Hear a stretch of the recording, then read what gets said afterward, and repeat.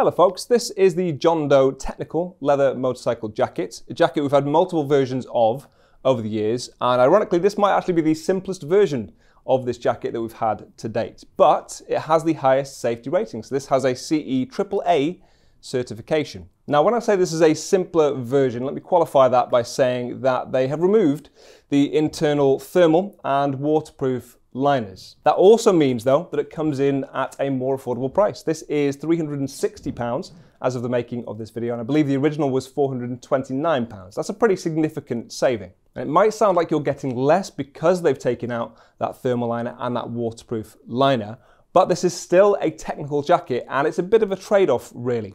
Ultimately, if you take out the waterproof liner from the jacket, then it's going to perform better on warmer rides because it is going to be much more breathable. Waterproof membranes, as good as they can be, are nowhere near as breathable as a jacket without one. And realistically, most people aren't grabbing for their leather motorcycle jacket in heavy rainfall or in the winter. So this is going to be more appropriate in the types of conditions you'll more likely wear this in. And when we're talking about leather, they use a cowhide leather. It's 1 to 1.1 millimeters thick. It's a little bit stiffer than some others. It's got a really nice quality to it, and obviously it will break in the longer you own it. If you do need a bit of extra room at the bottom there, you can actually unzip this from the bottom or from the top. If you need to give yourself some flexibility around the waist, you can see YKK zippers there as well. That's always a good sign of quality. Speaking of flexibility, you have snaps quite extensively across this, so you can tighten it in around the midsection of your arm if you need to, just higher than your forearm. You can do that around your waist as well,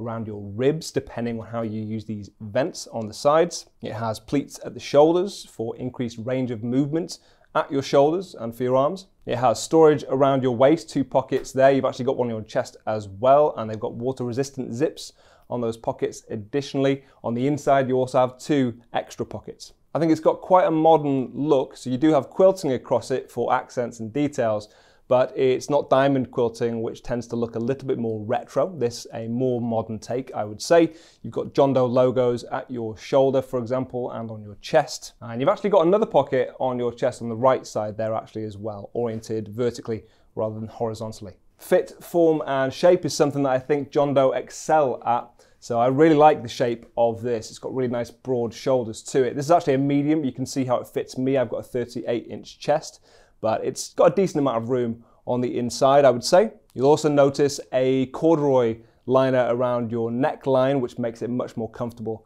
around your neck. And you've got a mesh liner on the inside as well, again for breathability. Now, speaking of breathability, the big USP to this jacket, and something I haven't seen from others, is the extent of the ventilation you have on the sides there, especially with a leather jacket where ventilation and breathability is key. So if you unzip these from the front, you also have corresponding zips on the back as well. You can also pinch this in using these snaps around the side to make sure they're always open and always catching air. That's great. I should also say on the inside that for impact protection, you get your shoulders and elbows included. That's their own XTM armor level one.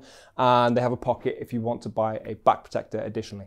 Now, let us know what you think of this in the comment section down below. I'm especially interested to see whether or not you would miss the waterproof liner on this occasion, or if you prefer it being a bit more breathable. You can also find links for this in the description, and I will see you soon.